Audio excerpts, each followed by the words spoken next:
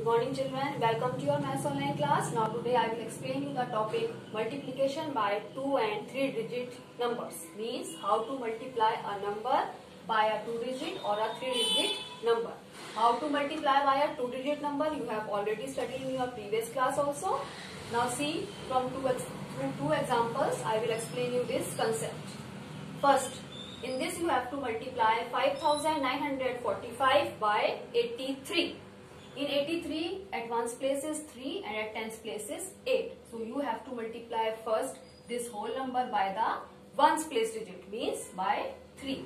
3 fives are 15, 1 is carry, 3 fours are 12 plus 1 is 13, again 1 carry, 3 nines are 27 and 1 28, 2 carry, 3 fives are 15 and 2 17. Now you have to multiply this whole number by 8. 8 is, 8 is at tens place. So you have to write digits from the tens place. At ones place you have to write either cross or 0.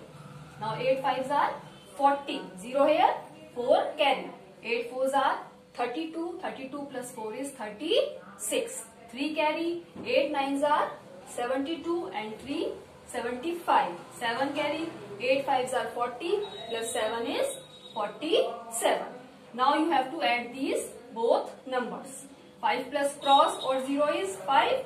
3 plus 0 3. 8 plus 6 is 14. 4 is here 1 carry. 7 plus 1 8. 8 plus 5 is 13. 1 carry. 1 plus 1 2. 2 plus 7 is 9 and this is 4.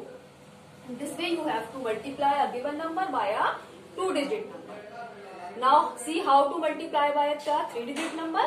The same way, first of all you have to multiply this whole number by 2, then by 4 and you have to put ones place cross. Then you have to multiply the whole number by 3 and 3 is at hundreds place. So you have to start writing from the hundreds place. It means in these two places you have to put either cross or 0. Then you have to add these three numbers. In this way, you have to multiply a given number by a 2 digit or a 3 digit number. The solution of this exercise related to this concept I will be sending you. You have to complete that exercise in your notebook very neatly. Okay students, till your next class, goodbye and have a nice day.